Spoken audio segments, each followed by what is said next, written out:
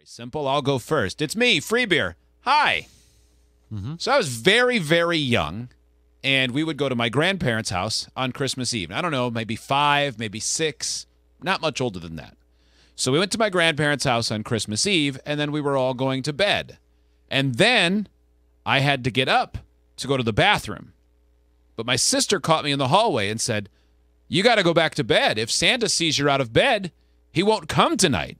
And then you won't get any new toys. Well, being young and materialistic, I went back to bed and pissed the bed. Oh. oh. And that became a tradition. Because Santa came. True story. That's too bad. P.S. For some reason, I was wearing corduroys. Oh, you soiled your cords. Why was I sleeping in corduroys? Oh, what sort of poverty were we? I really want to dress like Paddington Bear for bed. Merry Christmas, everybody. Sharing holiday stories, though. So, I must have been, I don't know, maybe like 11. And it's Christmas, ah, so that's great. My dad, little backstory, my dad loves pop.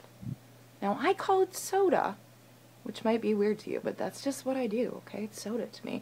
But my dad says pop, so for the sake of the story, we shall uh, refer to it as pop. So my dad loves him some pop, not just any pop. I mean, he'll drink some out of a two liter, but mostly fountain pop. That's his jam.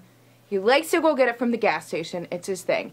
And he can't even be stopped on Christmas morning from doing such a thing. So we're opening gifts.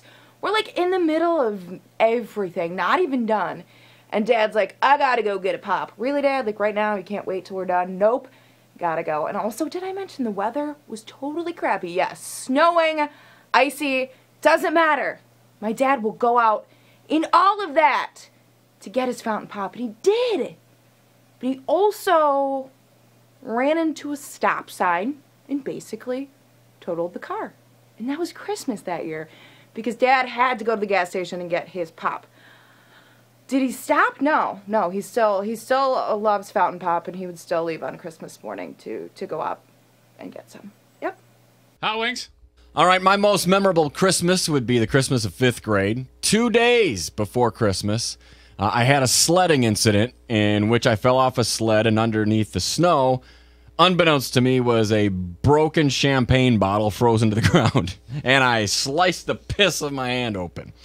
So I had to go to the hospital and get stitches, and I had stitches for Christmas. And then in between Christmas and New Year's, I got my stitches out. I made the mistake of eating about 12 Christmas cookies before I got my stitches out.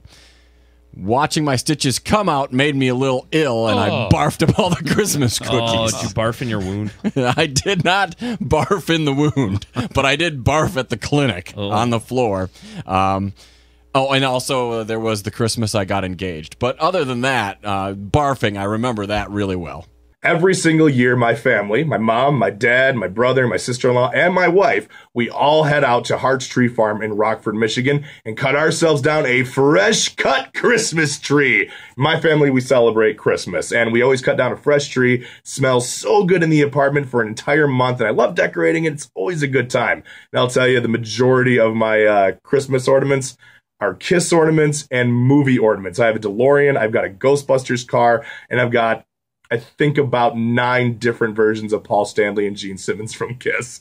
Right after we cut down the tree, we actually go on over to uh, the corner bar in Rockford as well too. Stuff our faces with delicious greasy food and hot dogs, and that's our holiday tradition. Every single year, I always look forward to it.